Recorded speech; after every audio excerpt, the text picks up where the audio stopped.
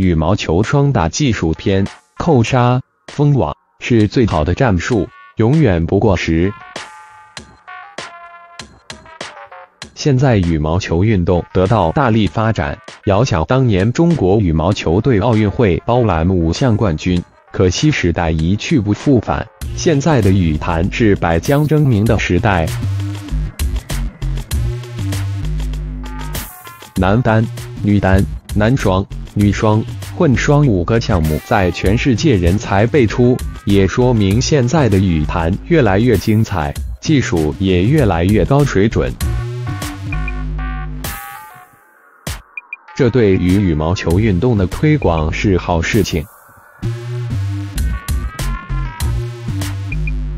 职业比赛技术在不断的更新，打法更加细腻。同样。在业余选手领域，高手也越来越多，技术也更加完善。在羽毛球双打中，扣杀一直是得分率很高的技巧。以前能打好一手漂亮的扣杀，在球场那绝对让对手不敢掉以轻心。但是现在破解扣杀的技巧越来越多。扣杀有扣杀的优势，速度快，角度低，但扣杀不是完美的，扣杀需要力量，要打出高质量的扣杀，从起跳将腿部力量转换到腰部力量，再转换到大臂、小臂、手腕、球拍，这一系列动作完成之后，会有一个很大的惯性，使身体后退。如果打出去的球被对方再往前吊死。很难再启动前进步伐去接球。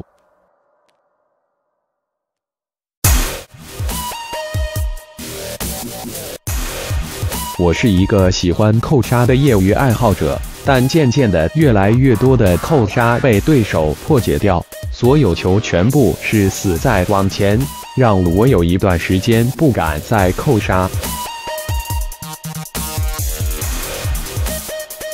一个靠扣杀得分不敢再打扣杀的选手，在球场打球总是感觉是多余的，而造成这种情况的，就是因为我的搭档不懂封网。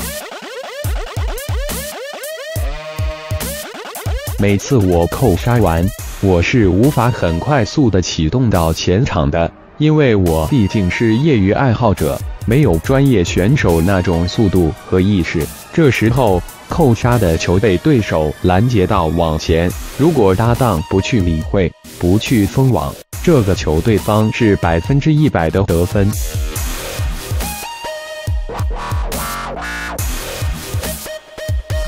而我的搭档就没有封网的意识，在双打中，因为对手两个人一人防守一个半区，接杀的几率是很大的。不管我是杀直线还是杀斜线。总会被接到，然后掉往前失分，让我一度怀疑自己的扣杀是不是越来越水。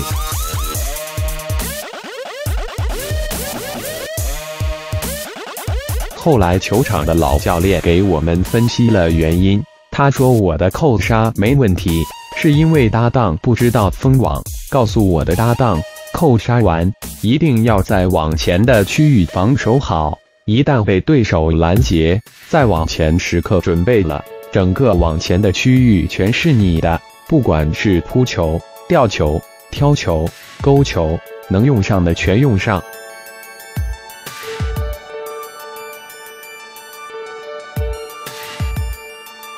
当搭档知道我扣杀完，他一定要封网的战术时，效果就是不同。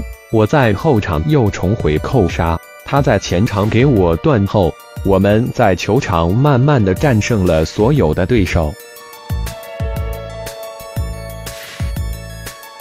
在双打中，扣杀、封网永远是最好的战术，永远不过时。参考来源。